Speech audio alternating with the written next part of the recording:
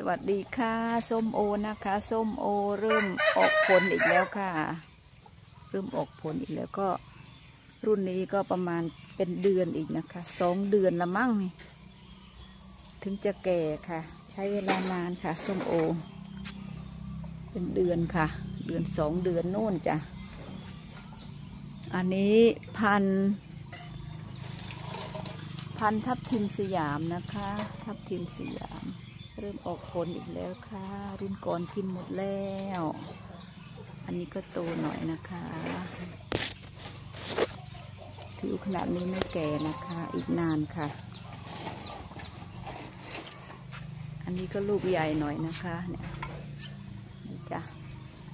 นนี้เริ่มติดผลเยอะค่ะ เริ่มติดผลเยอะนี่ค่ะส้มโอนี่ต้นแรกเลยนะคะ ต้นนี้ ออกผลรอบที่สองแล้วนะคะ รอบที่สองแล้วค่ะจ้ะเริ่มออกผลเยอะแล้วค่ะ เยอะค่ะ หลายลูกค่ะสิบกว่าลูกสิบกว่าลูกนี่ออกผลเล็กๆตามมาอีก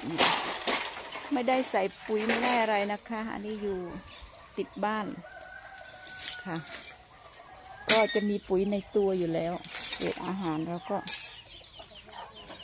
เศษใบไม้ใบอะไรเราก็ใส่กลบที่โคนเขานะคะ ที่โคนเพื่อเพื่อโคนเขาจะได้ไม่แห้ง อันนี้ก็เยอะเลยค่ะเนี่ยเยอะเลยค่ะหกเจ็ดแปดลูกนะคะ ไม่เคยได้เด็ดทิ้งเลยค่ะ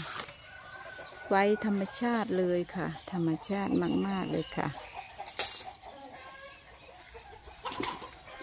ธรรมชาติส้มโอ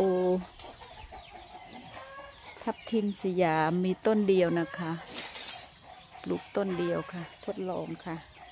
แต่รสชาติก็ใช้ได้นะคะ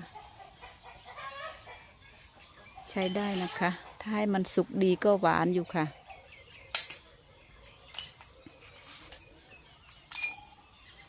ส้มโอทับทิมสยามกำลังงามค่ะ ฝากกดติดตามกดไลค์กดแชร์ให้ด้วยนะคะ เพื่อนๆ คลิปนี้ก็ประมาณนี้นะคะ สวัสดีค่ะ